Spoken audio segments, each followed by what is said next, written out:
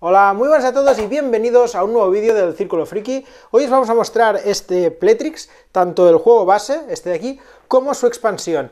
Ah, si hacemos un poco de memoria, pues hace un tiempo este Pletrix salió en Kickstarter, nosotros hicimos unos vídeos sobre, sobre este juego, ya que el autor Javi Hanza nos envió ah, el prototipo, ¿no? Entonces hicimos una reseña con nuestra opinión, hicimos un cómo se juega, explicando ah, todo lo que venía en el juego base, y luego hicimos también una partida en solitario pues a, este de aquí.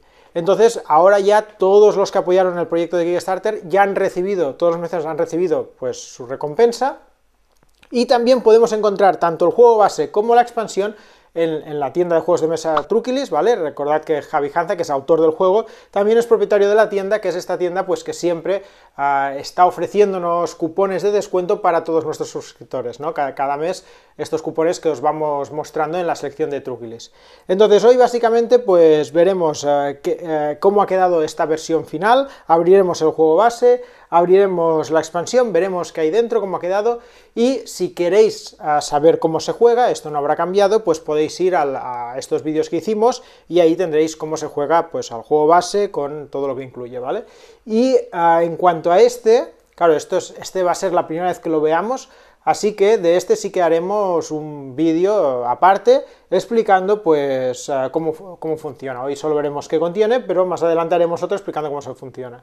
Y también estad atentos al canal porque ya puedo decir, digamos, que pronto haremos un sorteo donde sortearemos un Pletrix, ¿vale? Entonces, bueno, estad atentos porque no tardaremos mucho en activar este sorteo. Pues vamos a ver qué contienen. Vale, pues vamos a abrirlo. Ah, recordad que es un juego tipo roll and ride, ¿vale? De, estos con figuras de tipo Tetris.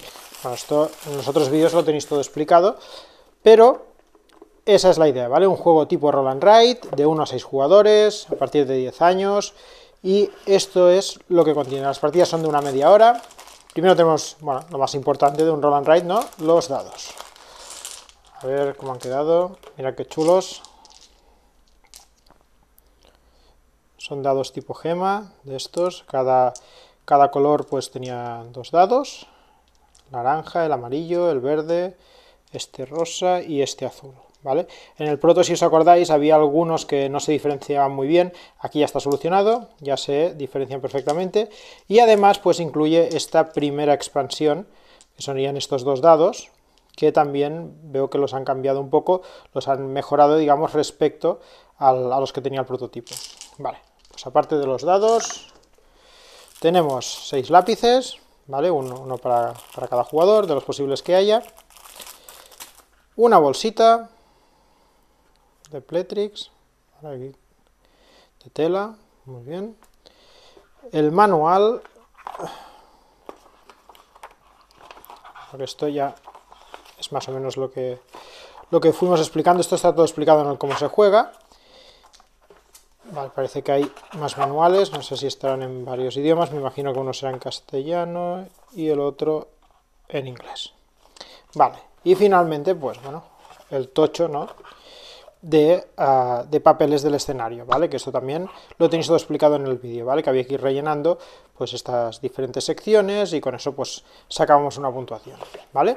Por lo tanto, aquí no hay mucha sorpresa porque, como ya vimos el proto, pues simplemente es lo mismo, pero ha quedado mejor, ¿no? Los dados más chulos, se diferencian mejor, y con la bolsita de tela, que esto el proto tampoco lo tenía, y ya está.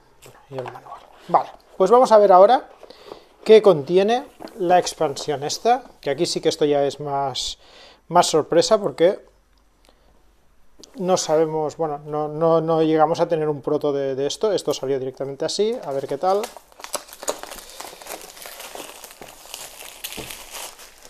Vamos allá. Esta expansión, digamos, sigue manteniendo lo de 1 a 6 jugadores a partir de 10 años, pero aquí parece que la duración es más larga, ¿vale? Las partidas pueden ir desde los 30 hasta los 90 minutos. Vale, a ver qué hay aquí, que esta la verdad es que es más grande y pesa bastante más. Aquí hay... Mira, aquí viene una bolsa grande para llevar los juegos, ¿vale? Esto, todo esto es del Kickstarter.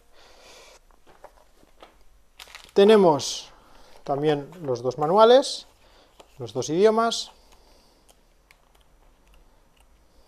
Esta parte sí que la haremos en un próximo vídeo.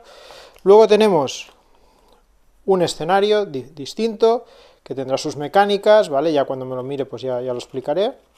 Un montón de hojas de este escenario. Esto son nuevos dados, que me imagino que aportarán, aportarán cambios, que no los conozco,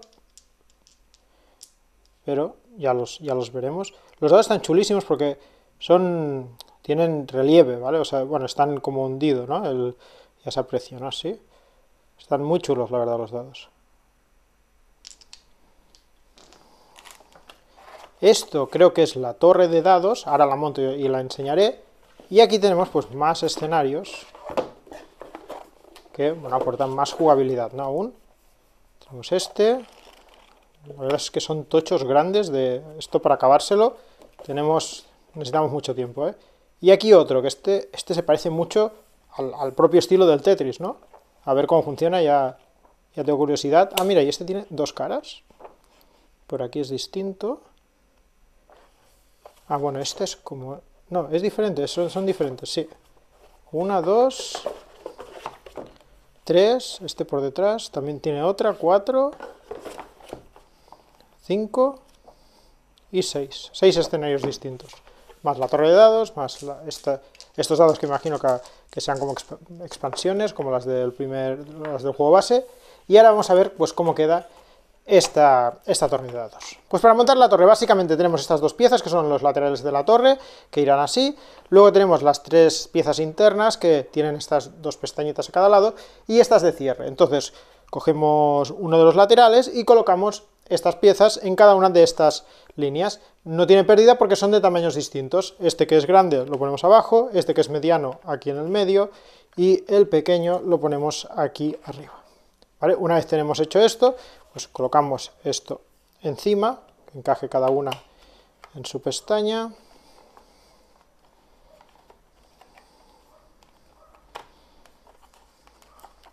Y ya está, una vez hecho esto, pues la, colocamos recta y solo falta poner las de cierre, que son estas tres. Esta principal, pues aquí eh, con el título de Pletrix. Esta será la trasera, y finalmente, pues la frontal esta, que la pondremos aquí. Y ya está, ya tenemos la torre montada, y ya la podemos probar. Cogemos los dados y básicamente tiramos los dados aquí y ya está.